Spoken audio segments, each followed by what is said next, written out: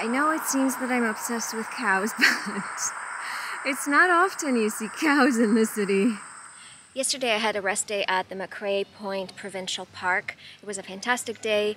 My friend and I went to Orillia, saw some great art in the city, visited the Lone Wolf Cafe, highly recommended, fantastic coffee. In the evening we had a wonderful fire. I am really excited for another day of cycling. The campsite is all packed up and I'm ready to go. I am heading towards Gamebridge today, Lock 41 on the Trent Severn Waterway. And today is going to be an easygoing day. I hope. I'll see you on the road.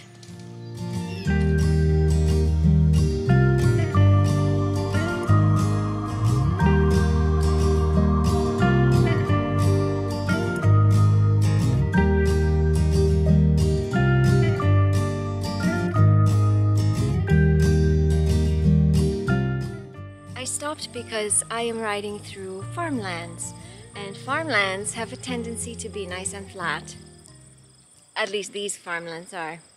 And I stopped here specifically because I'm pretty sure that on my tour last year I passed this farm. And I remember that because of these two tractors that are behind me. So I'll I'll aim to find a photo of that because I'm pretty sure I took a photo as well at that time. But I am enjoying this route thus far because it is flat, not a hill to be seen.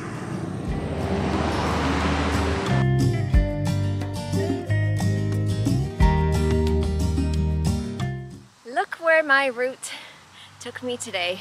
It's uh, yet another side road, so not as bad as the rocky road I was on a couple of days ago. But so far it has been rideable on a touring bike, but would be better on a mountain bike. Okay, onwards.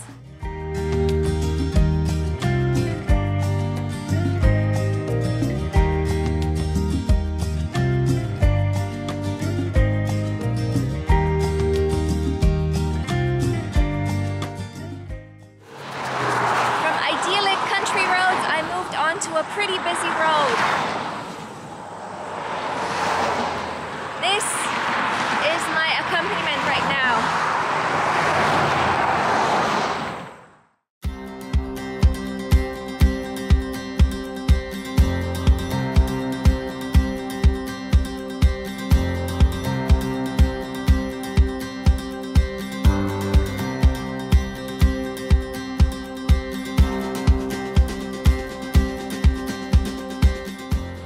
arrived at what I thought was going to be my final destination, the Lock 41 Gamebridge, and I spoke to the lock mistress who told me that this is not an ideal camping spot because of the highway, of the highway which is right behind me.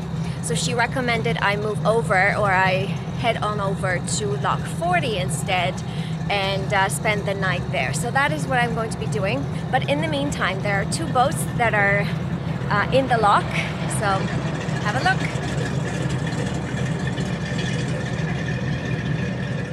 And I've arrived at my final destination. Lock 40 is Thorah and I will be spending the night here. A fun fact about this particular lock is it is much smaller than lock 42. It doesn't have showers, not many of them do, but it does have a little fire pit. I am excited because I love making fire so I think this is going to be a really lovely camping experience. It looks like the lock masters are now opening the the locks so that the boats can pass. It's all done manually.